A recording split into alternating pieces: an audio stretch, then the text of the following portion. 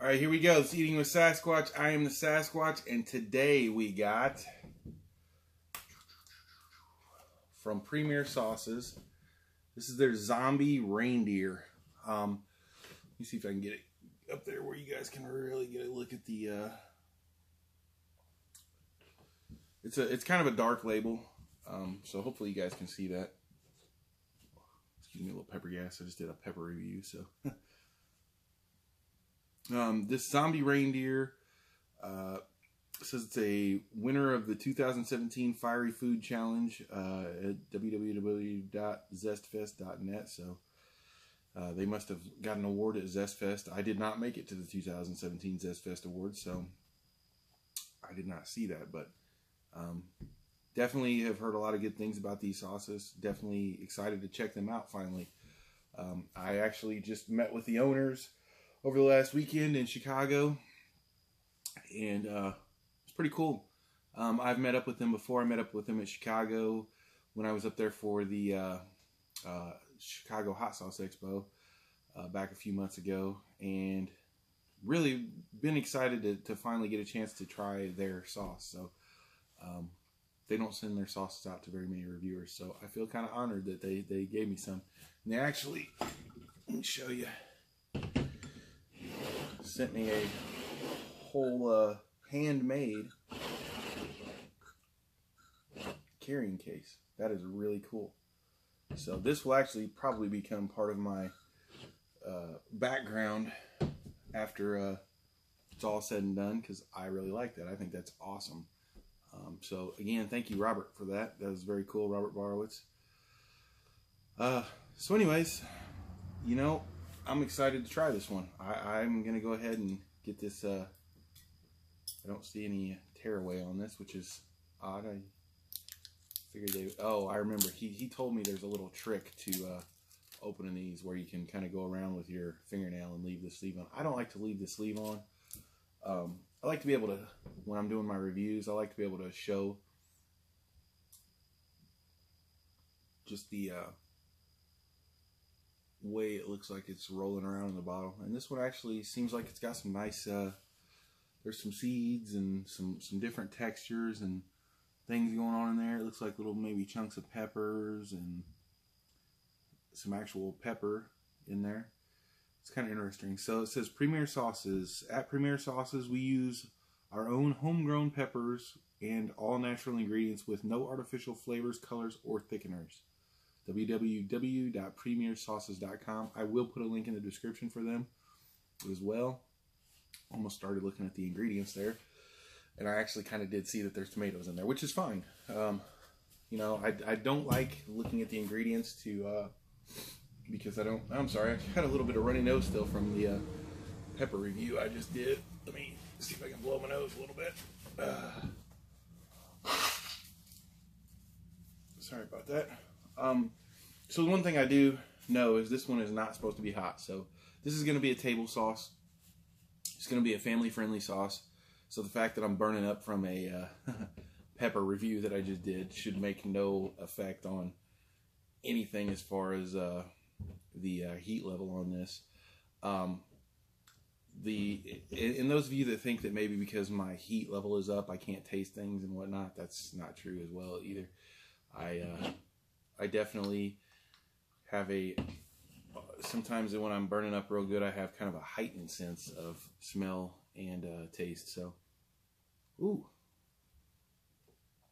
that's interesting. So I do smell the tomatoes. It, I do definitely smell the tomatoes right off the bat. Um, I want to say onion. That that actually smells really good. Um, I'm not a big tomato soup fan, but this really, uh, the smell of tomato soup actually is something I really enjoy. I don't like the taste of it too well for some reason. I don't I don't know why, but the smell of it really I do enjoy, and it does have a, a uh, tomato soup kind of smell to it. But it's there's more to it. There's the onions and there's there's some spices there that I can't quite make out.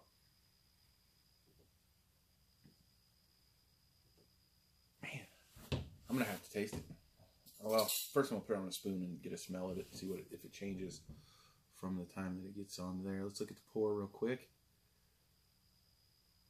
Nice pour. Um, nice consistency. Um, doesn't look like it has.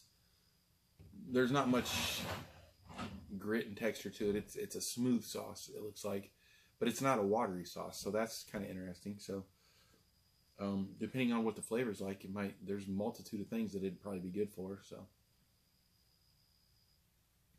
hmm. Now I definitely smell the vinegar. I'm a little more aware of the vinegar on the uh, spoon. I still smell the tomatoes. There's a spice there that I cannot make out, and it's it's striking me as a uh, almost like an oregano. It might be an oregano. I cannot tell. It's it's really blowing my mind. It, it, it smells like an oregano, so I'll, I'll I'll call it oregano right now without knowing. I honestly, I promise you, I've not looked at the ingredients. I accidentally saw that there was tomato in there because it's the first ingredient, and I was looking to see if there was any more information on the bottle. But uh, yeah, I'd say there's maybe oregano. But here we go. Three, two, one.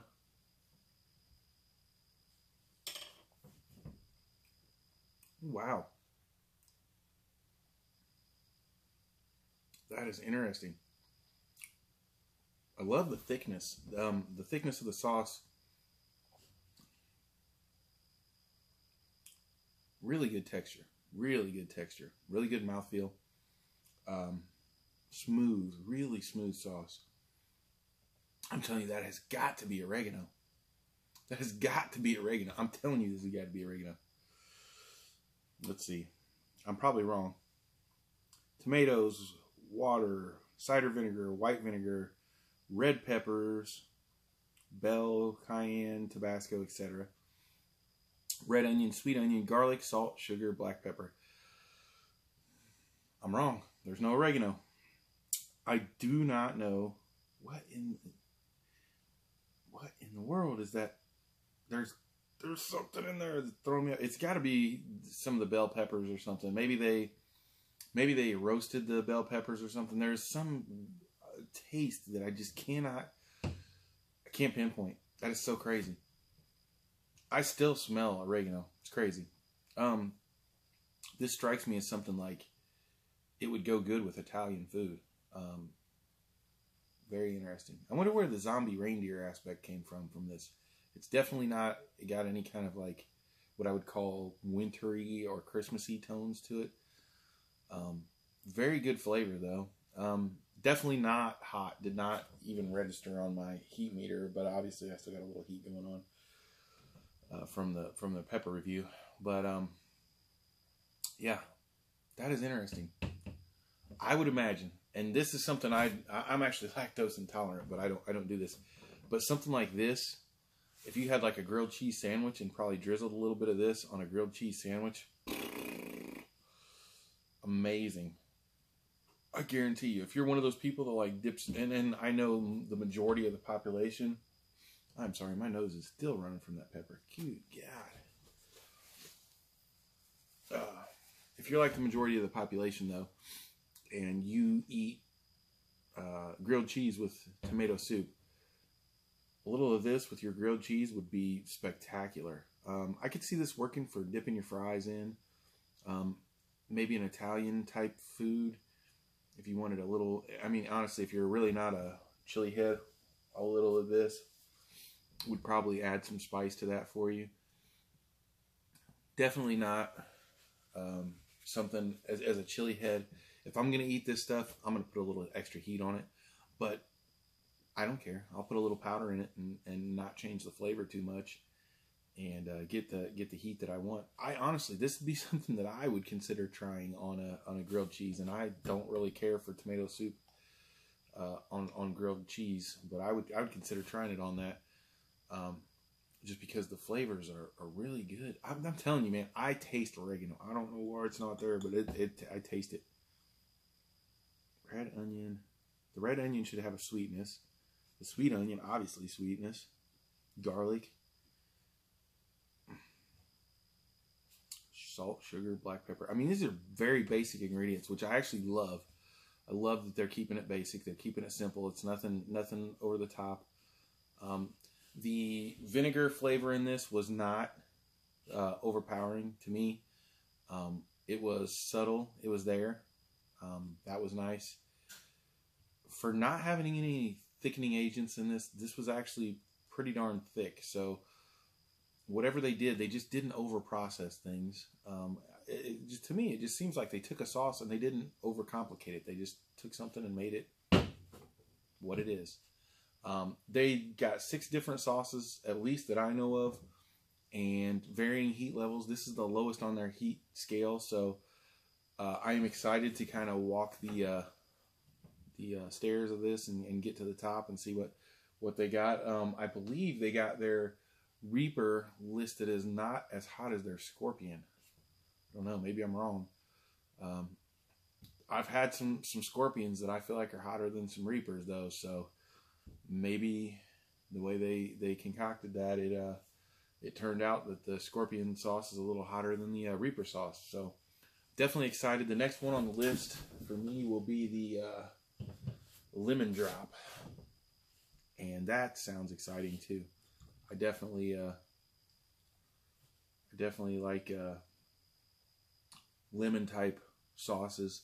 you know, the funny thing is, I'm not a fan of like sour foods, but the the sauces that I've had that have like lemon type stuff, I freaking love them. So I'm really excited to try this. I, I really, I would assume I don't want to look at the ingredients. I would assume by saying lemon drop, there's there's a pepper out there called the aji lemon drop. I would assume that that pepper could quite possibly be in there. Not 100% sure. Again, go check them out www.premiersauces.com. Um, I will put a link in the description. Again, go hit the subscribe button for me. Next to that is the notification bell. Uh, I'll also uh, put some links in for some friends of the show that do do uh, reviews as well. Um, but yeah, definitely check these guys out. Um, good friends of mine. Rob Rob's been a friend of mine for a while, and uh, like I said, I met up with him in Chicago uh, once already, and then met up with him just this last weekend. Uh, had a great time with him. Um, just good friends of the Sasquatch, you know. So, uh, and it's really cool that they hooked me up with a a carrying thing for my sauces. I, that's spectacular. It's awesome. That's something that I would have liked to have eventually bought or made for myself. But Rob was awesome and he made it for me. So I'm sure throughout the course of this, I'm going to thank him a million more times because it's awesome. And, and I promise it will be sitting somewhere up here eventually, uh, showcased. Um, I have to rearrange this whole area anyways here soon. But uh, yeah, I really appreciate it, Rob. Uh, it was great hanging out with you. Um, till next time, you like Squatch.